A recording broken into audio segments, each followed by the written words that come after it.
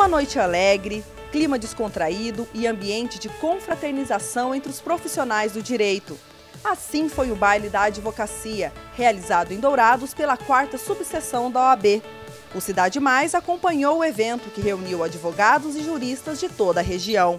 Nós nos surpreendemos com essa festa maravilhosa. De fato, nós repaginamos esse baile. É sim um baile tradicional que acontece na, por todo o país no mês de agosto, que é o mês que se comemora o mês da advocacia, o dia 11 de agosto. Nós comemoramos o dia da advocacia, na verdade, o dia em que criou-se o primeiro curso jurídico no país e, e, consequentemente, o dia da advocacia. E nós trouxemos um baile com um espírito mais inovador, com um espírito mais jovem, com um espírito mais dinâmico, com um espírito de união. Nós temos aqui a advocacia local, nós temos representantes de todo o Mato Grosso do Sul e é sim um baile institucional, mas é um baile para a família, é um baile para a sociedade.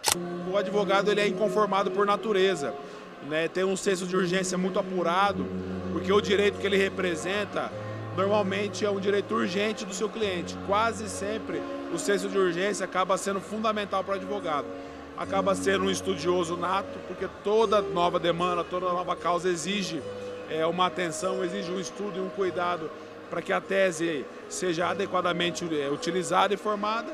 Então, o advogado é, antes de tudo, é, um inconformado e um estudioso. Eu acredito que hoje um advogado ele precisa pensar fora da caixa.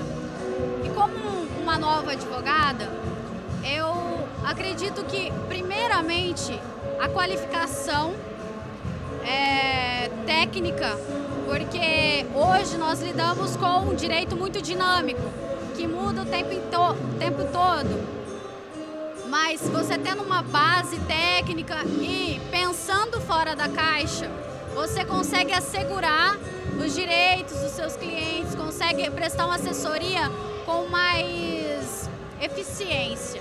Hoje os, os nossos clientes buscam eficiência. A Ordem dos Advogados do Brasil é uma entidade que defende a democracia, defende o Estado de Direito no Brasil, no Mato Grosso do Sul e também aqui em Dourados.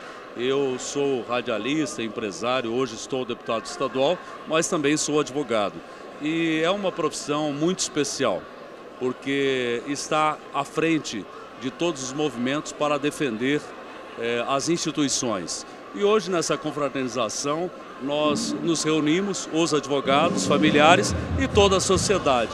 É uma comemoração. Desde 2015, a OAB Mato Grosso do Sul tem tido um trabalho junto à sociedade, onde nós, advogadas, estamos dando voz a outras mulheres. Então, a gente trabalha combatendo a violência doméstica junto às escolas e até mesmo dentro das delegacias, onde a gente orienta as vítimas de como proceder daquele momento em diante, para que ela saia desse ciclo de violência.